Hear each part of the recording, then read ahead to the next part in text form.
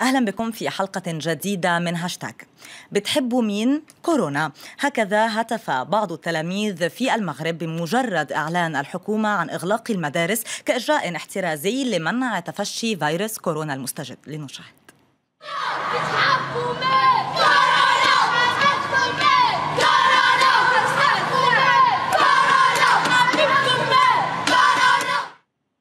هذه الفرحة تشاركها الكثير من التلاميذ والطلاب الآخرين في مختلف الدول العربية لكن سرعان ما تغير شعورهم لا سيما بعد أن علموا بأن عليهم استكمال الدراسة ولكن عن بعد.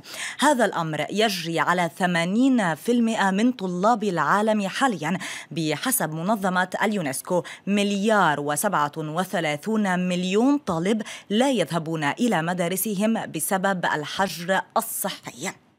هناك تطبيقات كثيرة يمكن استخدامها للتعلم عن بعد مثل تطبيق Microsoft Teams، Seesaw، Google Classroom و Blackboard لكن هذه التطبيقات ليست منصات رقمية موحدة خاصة بوزارات التربية والتعليم. إلى حين انتهاء الحكومات من إنشاء هذه المواقع الإلكترونية قام البعض بإيصال المحتوى التعليمي عبر تصوير شرح المعلم وبث الفيديو على القنوات. كما يوضح هذا التقرير لقناة دوزم المغربية.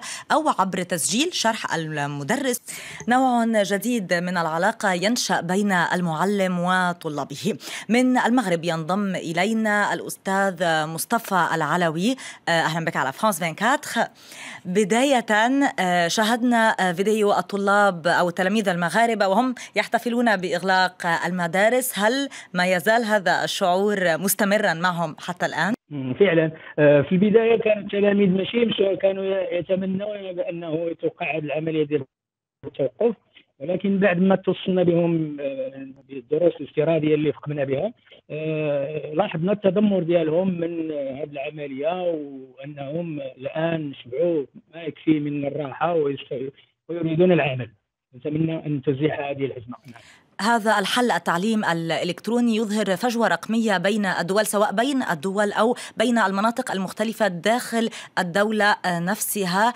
آه، ماذا تقدم آه، الدولة المغربية أو الحكومة المغربية للمناطق النائية التي لا يتوفر فيها الإنترنت مثلا؟ المناطق النائية آه، الوزارة الآن علمت على واحد البلاغ علمت فيه على أنه الشركات العاملة في ميدان الاتصال قررت سماح للتلاميذ بالوجود بالولوج بالمجان وبصفة مؤقتة إلى جميع المنظمات المنصات التعليميه المغربية.